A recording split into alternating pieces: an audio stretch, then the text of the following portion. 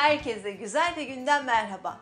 Böyle misafirleriniz geldiğinde farklı lezzetler tattırmak istiyorsunuz değil mi? Çok bilindik olmasın ama güzel olsun, herkes de beğensin.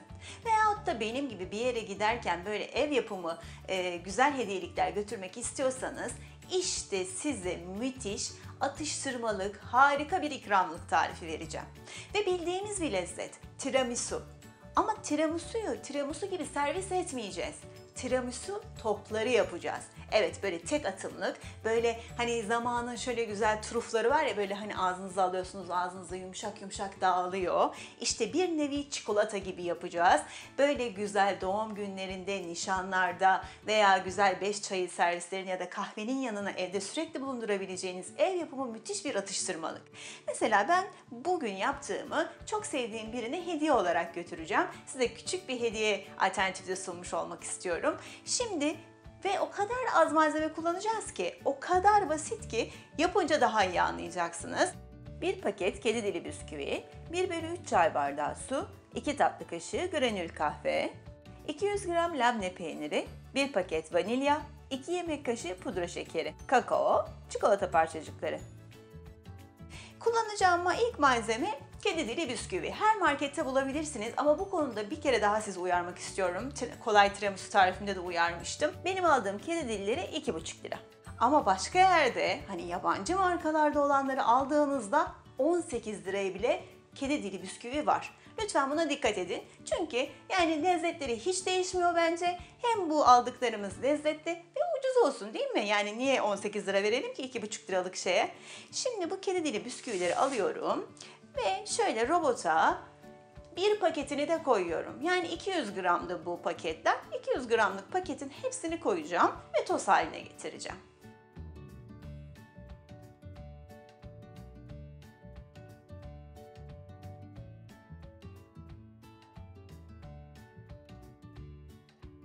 Hepsi çok güzel toz haline geldi.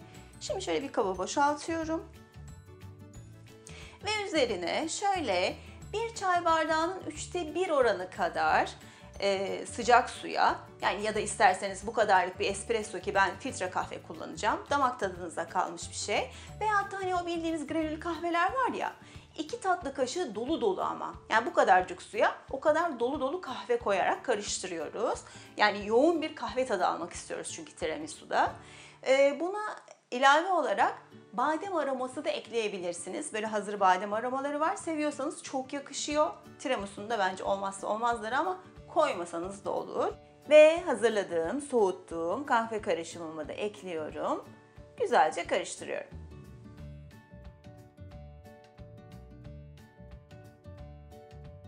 İyice yedirdim. Şimdi bunu soğuması için buzdolabına alıyorum. Şimdi de geldi sıra diğer malzememize. Tiramisu'nun olmazsa olmazı aslında mascarpone peyniridir. Ama biz onun yerine Türkiye'de ne kullanıyoruz? Labne peyniri kullanıyoruz. Mascarpone peynirini de evde yapmak aslında çok da zor değil. Hani merak ediyorsanız size onu da gösteririm. Eğer tabii ki istek alırsam biliyorsunuz yorumlarınız beni yönlendiriyor. Ama biz herkesin marketlerde rahatlıkla bulabildiği böyle bir labne peynirini tercih ediyorum. Şöyle yine 200 miligramlık yani küçük paketler var ya Tam o boyutta. Ve buna bir tane vanilya ve 2 yemek kaşığı da pudra şekeri ilave ediyorum. Ve iyice karıştırıyorum.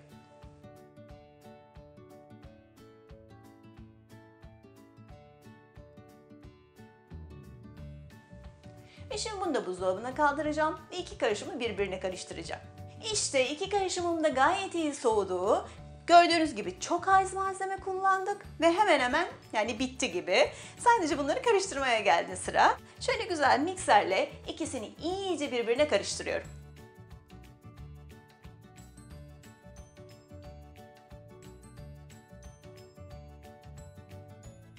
İşte tiramisu toplarımın harcı hazır. Şimdi tek yapacağım onları yuvarlak top haline getirmek ve tabii ki olmazsa olmaz kakaoya bulamak ama alternatif olarak böyle çikolata parçalarına da bulayabilirsiniz. Veyahut da benmari usulü çikolatayı eritip güzelce çikolataya bulayabilirsiniz. Böylece de işte dışı çıtır çıtır çikolata içi de yumuşacık tiramisu tadında olur. O da farklı bir alternatif olur.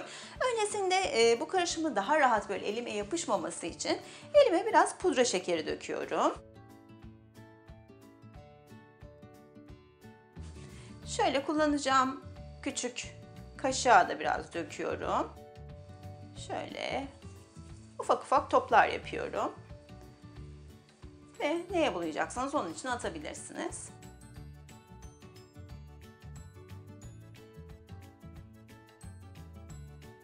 Evet, güzelce kakaoyu buluyoruz. Ve yine güzelce çikolata parçacık dolanı da buluyorum. Ne isterseniz artık. İşte bu kadar kısa zamanda tiramisu toplarım hazır. Ve çok az malzeme kullandık başta da söylediğim gibi. Yani 7-8 dakikada da hazırladık. Birazcık buzdolabı bekleme süresiyle beraber 10-15 dakika diyelim. 10-15 dakikada böyle harika bir lezzet. Sevdikleriniz buna bayılacak. Hem hediye ettikleriniz hem de ikram ettikleriniz. Şimdi bunları biraz daha buzdolabına kaldırıyorum. Orada güzelce dinlensinler. Kendilerini iyice çeksinler. Biz de bu arada farklı bir böyle güzel evdeki malzemelerle hani diyorum ya ben bunu hediye götüreceğim. Nasıl hediye paketi yapabiliriz onu göstereyim size. Ben böyle ev yapımı hediyelere bayılıyorum. Gerçekten çok hoşuma gidiyor ama sunum da o kadar önemli bence. Ama bunun için de gidip dışarıdan çok malzeme almaya gerek var mı? Bence yok. Çünkü onun malzemesini, paketini vesairesini dışarıdan aldığımız zaman astarı yüzünden pahalıya geliyor bence. Evdeki malzemelere şöyle o gözle baktığınızda çok güzel hediye paketleri hazırlayabileceğinizi göreceksiniz. Mesela ben öyle yapıyorum. Mesela şöyle bir kağıt tabak. Gerçekten yani tanesini marketlerde çok çok çok ucuza satıyorlar. Böyle e, güzel özel günlerinizde de bir şeyler yaparsanız hani çocukların doğum günlerinde hazırlıyorlar, baby shower'larda hazırlıyorlar, nişanlarda. Bunların daha küçükleri var biliyorsunuz. Böyle cam gibi mikalar var. Onlara da koyabilirsiniz. Çok şık olur. Mesela ben şimdi porsiyonu da biraz fazla tutacağım. O yüzden böyle bir tane e, kağıt tabak kullanıyorum. İçerisine çikolataları koymadan önce şöyle yağlı kağıt koyabilirsiniz veya da benim gibi böyle ince pelur kağıtlardan da yapabilirsiniz. Bu da bir şıklık katıyor. Şöyle fırın torbası alıyorum. Evet böyle şık, güzel torbaları bulamıyorsunuz çünkü değil mi? Buzdolabı poşeti de böyle mattır. O güzel görüntü vermiyor. Ama fırın poşeti bu işi çok güzel görüyor. Şöyle fırın poşetini alıyorum ve kasemi onun içerisine oturtuyorum.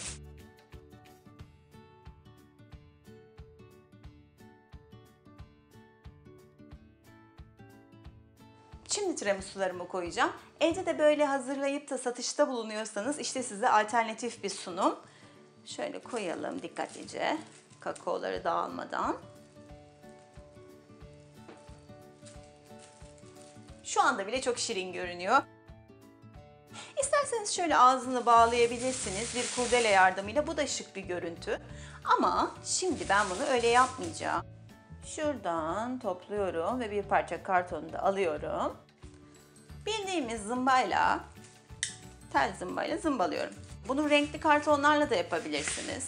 Bu kartonu güzelce çizgili böyle güzel kağıtlarla da kaplayabilirsiniz. Bu bile yeterli. Ama benim evde sürekli yaptığım şeylerle ilgili çıkartmaları hazırlıyorum ve bunları bir A4 kağıda bastırıyorum. Evde de bulunduruyorum.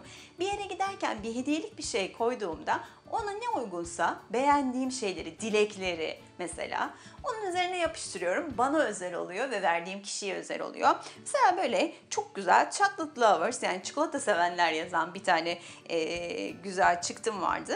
İşte onu da üzerine yapıştırıyorum. İşte gördüğünüz gibi hediyelik bir şekilde tiramisu toplarımı hazırladım.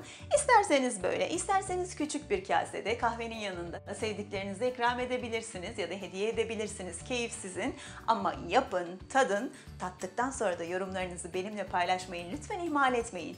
Başka güzel projelerde görüşmek dileğiyle. Hoşçakalın.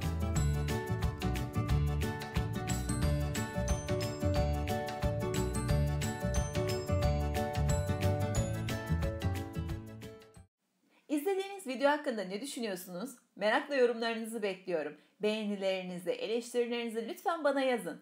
Ayrıca ilginizi çekebileceğini umduğum daha birçok video var. Bu videoları kaçırmak istemiyorsanız kanalıma ücretsiz abone olun.